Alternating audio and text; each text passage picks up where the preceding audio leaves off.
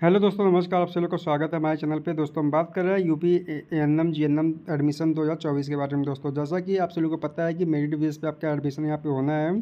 जिसका बेसब्री से इंतज़ार है रिज़ल्ट। रिज़ल्ट को लेकर हमने निर्धारित डेट बताया था कि आपका 20 से 22 अगस्त तक आपका रिज़ल्ट आ जाएगा बट उस दिन आपका रिज़ल्ट नहीं आया।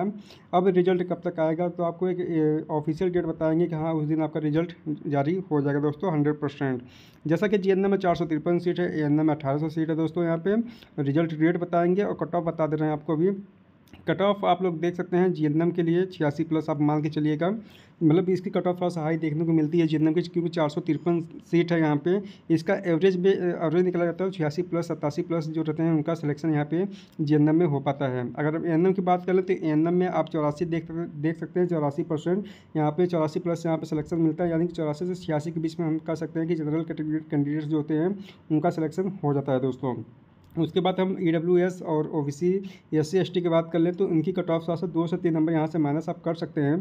तो एक जैसे कि अगर ई डब्ल्यू एस हैं तो आप यहाँ पे बयासी मांग के चलिएगा, अगर ओ बी सी हैं तो इक्यासी मांग के चलिएगा, अगर एस सी एस टी है तो अठहत्तर से अस्सी मांग चलेगा अगर वहीं पे आप एस टी हैं तो पचहत्तर पचहत्तर के आसपास मतलब पचहत्तर सेफ़ है, पचहत्तर के आसपास मांगे चलिएगा, ठीक है? और बाकी इसका कितनी बार देखने को मिलता है कि इसकी सेकेंड लिस्ट थर्ड लिस्ट भी जारी होती है, यानी कि एडमिशन के समय कैंडिडेट्स पूरा नहीं हो पाते हैं तो उनकी एक मेरिट सूची अलग से बनाई जाती है, जो मतलब जो जिन लोगों का कट ऑफ़ कम रहता है, उनको भी यहाँ पे एडजस्ट कर लिया जाता, कर लिया जाता है, ठीक है?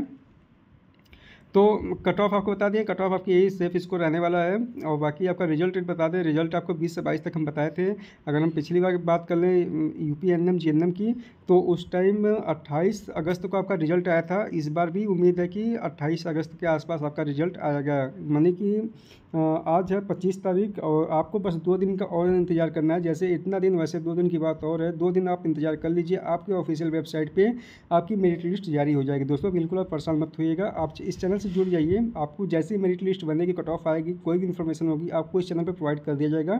ठीक है? जैसा कि आप लोग यहाँ पे देख सकते हैं यूपी एन एम एडमिशन 2023 ये 2023 का है। ठीक है दोस्तों? ये आपका 2023 का है, ठीक है? उसके बाद इंपॉर्टेंट डेट्स आप लोग देख सकते हैं। एक जुलाई से लेकर इकतीस जुलाई तक ऑनलाइन फॉर्म भरा गया था, जिसका मेरिट लिस्ट 28 अगस्त को आ गया था। यानी कि फॉर्म बनने का 28 दिन बाद आपके यहाँ पे मेरिट लिस्ट आ गई थी। इस बार भी उम्मीद है कि 28 तारीख को ही आपका जो कि मेरिट लिस्ट जारी हो जाएगी। दोस्तों, आप बिल्कुल परेशान मत होइए। वैसे दो तीन दिन की बात हो, पच्चीस तारीख हो गया है अट्ठाईस तारीख आने में दो से तीन दिन का है समय।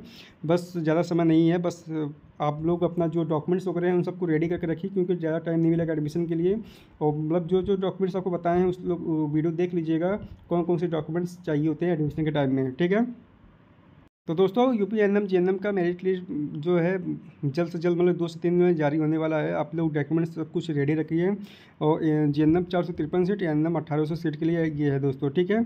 आपको वीडियो अच्छी लगे तो वीडियो को लाइक करिएगा वीडियो को ज़्यादा शेयर करिएगा चैनल को सब्सक्राइब करिएगा दोस्तों। जय हिंद।